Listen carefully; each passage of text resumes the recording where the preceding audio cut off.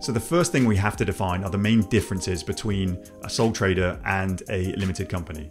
So, a sole trader is seen as a self employed business owner where legally the business and the business owner are seen as the same legal entity. Whereas a limited company, the business and the business owners or the directors or the shareholders are seen as two separate entities.